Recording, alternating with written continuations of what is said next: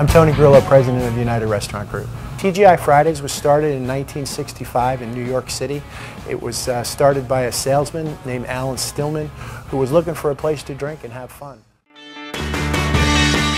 Operation, if you ask, uh, we plan uh, daily.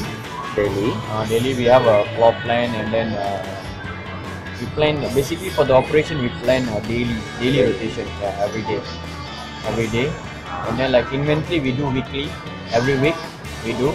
And then uh, purchasing we do for the daily usage of orders we do every two days